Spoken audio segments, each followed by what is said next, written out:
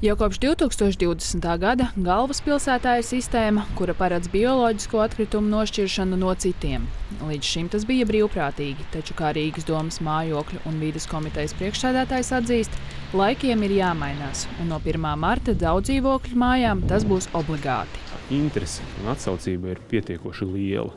Ja, Tātad jau uz šo dienu, ieviešot plasmasas metāla šķirošanu, mēs redzam, ka 30% atkritumu tiek sašķiroti.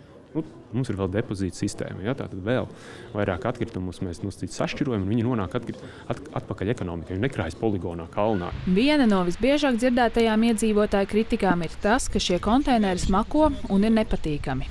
Tāpēc cik bieži ir noteikta minimālā šo atkritumu izvešana? Šobrīd mēs uzliekam eh, biežumu ne retāk kā reizi četrās, eh, astoņās nedēļās, proti, reizi divos mēnešos. Eh, bet tas ir tāds nu, sākotnējais, neretāk.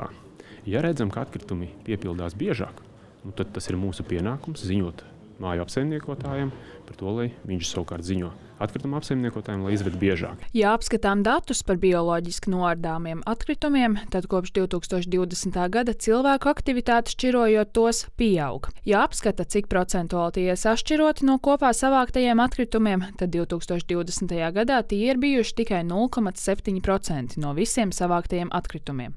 2021. gadā 2,1% un 2022. gadā no kopā savāktajiem atkritumiem 2,3%. Par 2023. gadu datu vēl nav. Taču cik jaunais konteiners un bioatkritumu izvešana iedzīvotājiem izmaksās? Tas tā tad atšķirsies atkal no, no situācijas uz situāciju. Ja šodien jūs eh, maksājat eh, vidēji 10 eh, eiro mēnesī nu, par sadzīves, eh, sadzīves atkritumu šķirošanu, tad iespējams, pareizi šķirojot, jūs turpmāk varētu maksāt arī 8 eiro mēnesī. Ja jūs eh, veiksmīgi sākat šķirot, tad, tad jūs varat izveidot pašā mājasēmniecības mājas ietvaros sistēmu, kur jums šodien sanāk lētāk. Tas, cik liels konteinerus izvēlēties un cik bieži izvest, apsaimniekotājiem jāizvēlas pašam. Aleksandrs Traumi, Ivans Milovs, Latvijas televīzijā.